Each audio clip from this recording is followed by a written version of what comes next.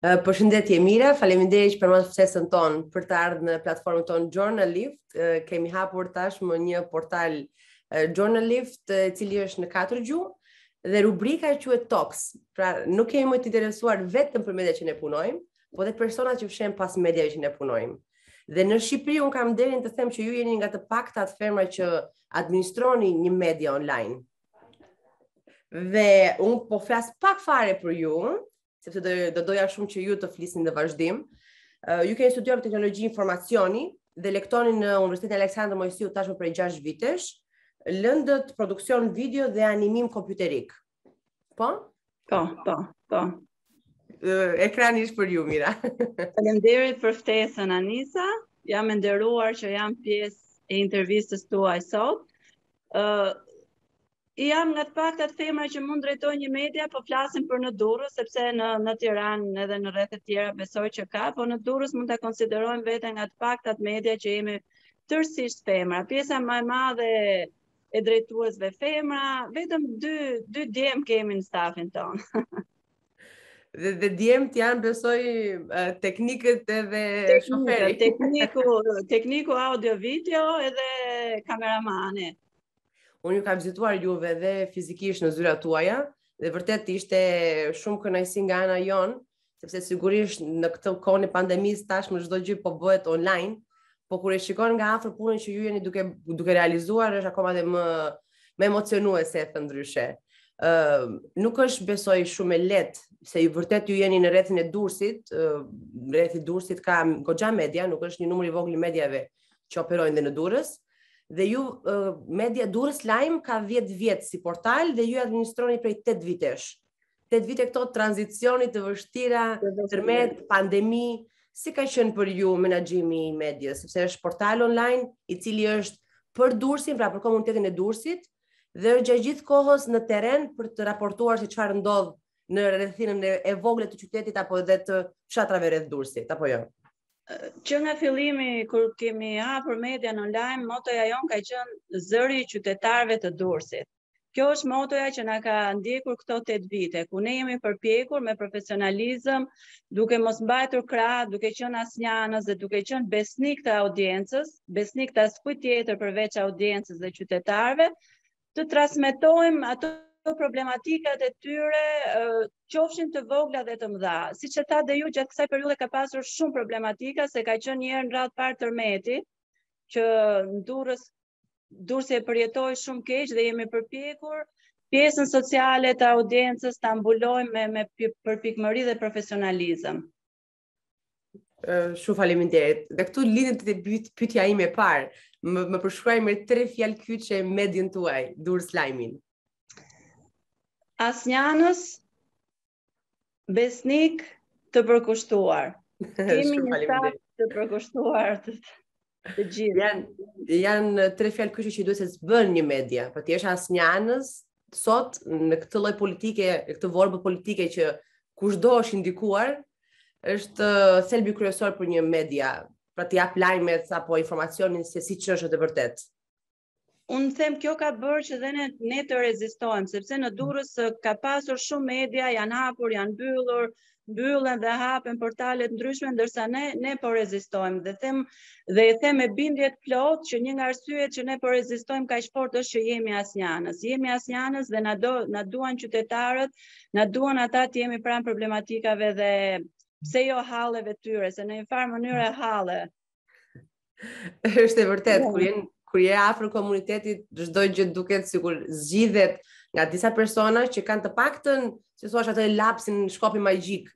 Dhe fakti që ju raportoni dhe jeni keni një shikueshmëri kaq të gjerë, keni impakt sido që të jetë dhe në administratë apo dhe në bashkinë e Durrësit.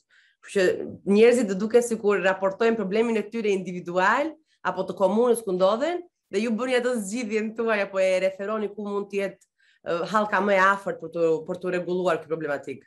Shpeshherë na kontaktojnë në Facebook, sidomos rrjetet sociale, po në Facebook kryesisht, s'më ka dalë bonusi i qirasë, nuk e gjeta emrin ke bonusi i qirasë. Ju lutem interesoni pak, domethënë nga problematikat më të ndryshme që ne me të vërtetë edhe vajzat gazetare janë përpjekur që t'i zgjidhin, duke kontaktuar personat përgjegjës në bashki duke kontaktuar një person që merret drejtpërdrejt me atë çështje dhe deri diku kemi arritur të zgjidhim disa gjëra.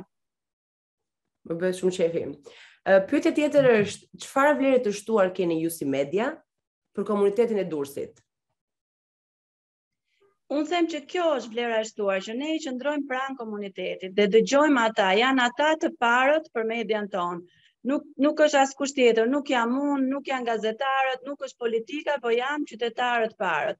Uh, qytetarët dhe zonat përreth, sepse aq sa ka qënë mundësia për të ndjekur, kuptohet që menaxhosh një media duhen shumë gjëra, nuk duhen vetëm njerëzit, duhen dhe burimet financiare, por ne ja kemi dal. Fal projektit tani ja kemi dal shumë mirë me shumë gjëra që i kishim në plan në kohë dhe arritëm të realizonim.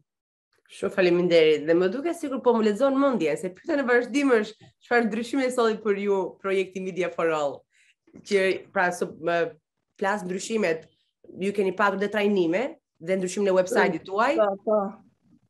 Për hir të vërtetës ka sjell shumë ndryshime, ta marr nga ana profesionale, nga trajnimet që kanë bërë gazetarët nga Thomson Foundation, ë uh, janë bërë më profesional në përcjelljen e videos, në realizimin e videos, nëse përpara jo se nuk bënim video, bënim video, po ashtu në një lloj standardi tjetër, tani them që videot tona kanë arritur të përcillen në një lloj standardi tjetër, më profesional, fal kjo trajnimeve.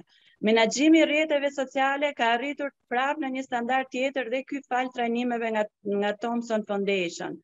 Ëh, uh, mënyra se si i menaxhojmë tani rrjetet sociale, se si e përcjellim informacionin është më profesionale. Përpara kemi pasur vetëm Facebook-un si fokus, tani jemi rritur shumë në Instagram, mënyra si i paraqesim fotot e lajmet në Instagram na ka ndihmuar shumë. Trajnimet e gazetarëve na kanë ndihmuar shumë. Dhe pastaj dhe ajo që është që nuk mund ta le pa përmendur është që na ka dhënë dhe një qëndrueshmëri financiare. Duke qenë të mbështetur financiarisht, nuk kemi nuk kemi ndenjtur vetëm në qytet apo në fshatrat shumë afër qytetit, po kemi tejkaluar dhe në zonat rurale që janë më larg, duke trajtuar problematikat e kësaj zone, duke njohur më nga afër njerëzit e kësaj zone, jo vetëm me problematikat që mund të kenë, po dhe me traditat që ata kanë. Kjo falë edhe panairit që kemi zhvilluar në muajin tetor, ku u njohëm me produktet që ajo në zonën e Manzës, me produktet që ata prodhonin, jo vetëm produktet, le të themi perime dhe fruta, po djathin, mjaltin, reçelra, domethënë ishte një traditë që dhe ne kaq afër nuk e njinim. Kështu që projekti na ka mbështetur për shumë gjëra.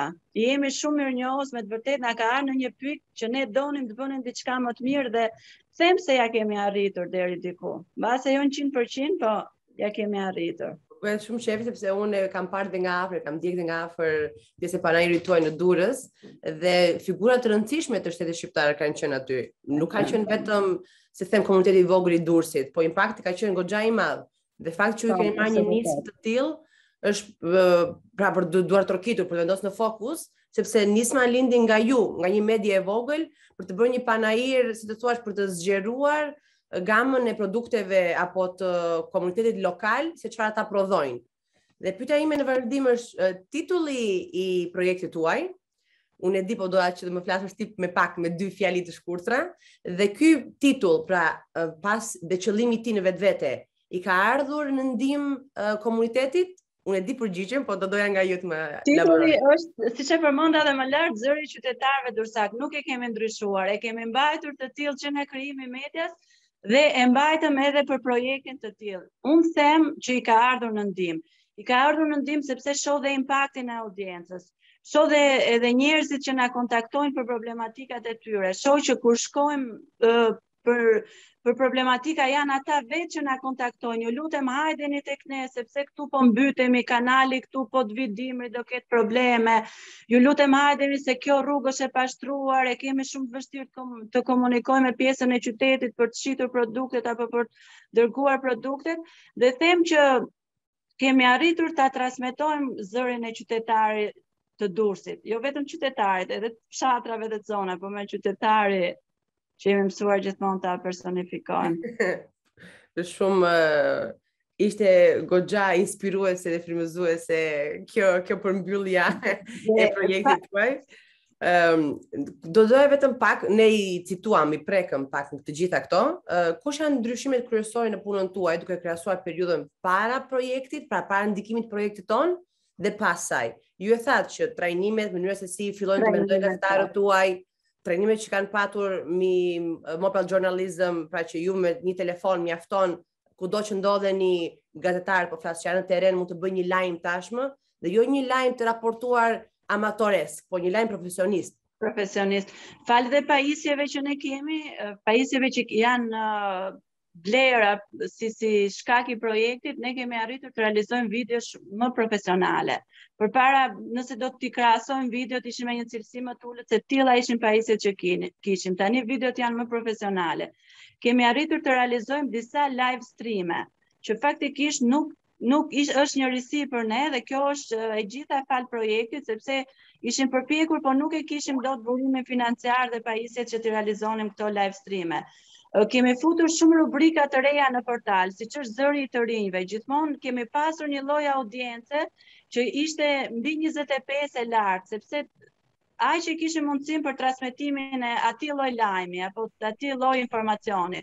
Ndërsa falë projektit ne kemi mundur të mbulojmë edhe shumë aktivitete të rinjsh me pajisjet tona, me me stafin tonë, dhe kështu që na është rritur dhe audienca më e re në moshë. Këto janë statistika që nuk po i them kot se dua t'i them, por janë statistika që janë lehtësisht të gjendshme nga programet analitike që masin audiencën. Ë, fshatrat, siç e përmendëm, nuk kishim mundësi më parë të të, të shkonim edhe të njiheshim me problematikat, apo me, uh, si të thuash, me, me atë çka ata përfaqësojnë. Ta, falë projektit tani kemi arritur që dhe zonat larg Durrësit, goxha larg Durrësit, t'i, t'i prekim, t'i prekin gazetarët nga afër dhe dëgjojnë zërin e tyre. Shumë faleminderit Mira, ishte shumë kënaqësi që folëm bashkërisht. Ë uh, ne do kemi kënaqësinë të afro të takohemi edhe nga afër, sepse ndoshta komuniteti jonë shumë i vogël dhe kemi pas kënaqësi që jemi takuar madje edhe në takimet e mëparshme që kemi zhvilluar me British Council për ECR Tool. Ë uh, ju keni përdorur dhe Smart Octo Tool. Pra, siç fole pak më përpara për Google po. Analytics dhe Smart Octo po. janë mënyrat dy mënyrat që ju keni përdorur për statistikat tuaja për audiencën, po. matjen e audiencës, se çfarë shikon audienca juaj, çfarë artikuj lexon dhe çfarë është më interesuar. Po, ju po, keni raporte që janë ndarë me ju ato raporte dhe kam patur pra raporte që kemi kemi shkëmbyer bashkërisht nga kërkimet që kemi përdorur nga Smart Octo. Ka pat ndikim tek ju, pra keni parë si të nevojshme dhe më pas keni mbushur rubrikat tuaja me ato si të thuash çfarë është vërtet e interesuar audienca juaj? Patjetër, patjetër. Kanë pasur shumë ndikim dhe uh, ne jemi gjithmonë në kërkim të, të edhe të këshillave, edhe të të, të fjalëve që shiko pse nuk e bëni këtë, do ishte më mirë që ta bëni edhe këtë dhe falë kësaj, ne kemi arritur që të shohim edhe një ndryshim në audiencën tonë dhe të rrisim audiencën tonë. Audiencën e kemi rritur shumë.